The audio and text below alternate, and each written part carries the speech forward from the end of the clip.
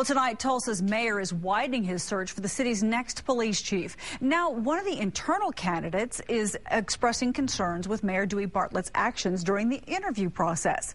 2 News reporter Jason Grubbs joins us live with more on the issues being raised.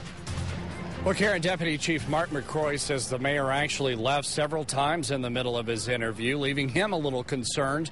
But at this hour, the mayor not commenting on any accusation. Tulsa Police Deputy Chiefs Daryl Webster and Mark McCrory both want to lead TPD. And since outside applicants are now being accepted, that suggests both are out of the running. But during the recent interview process, McCrory told 2 News, quote, the mayor got up and left the room three times during my interview.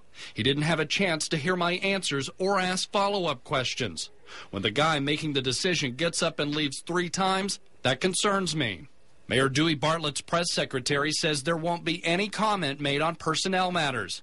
He did say the search committee would sit down with any candidate to explain why they weren't chosen. Chuck Jordan says he will be applying. He's been the interim chief since January, put into place by Mayor Bartlett. And on Monday, there could be even more outside candidates. That's when the city will publicly post the position. As for McCrory, he went on to tell 2 News that, quote, it's not sour grapes. I am not leaving the department. I look forward to working with whomever is chosen to be the next chief. And that open position will be posted for one week. The mayor saying that today. No word on when we can actually expect a decision. Now, I did talk with Deputy Chief Webster on the phone tonight. He did not want to comment on the matter. Reporting live from downtown Tulsa tonight, Jason Grubbs, 2 News, works for you.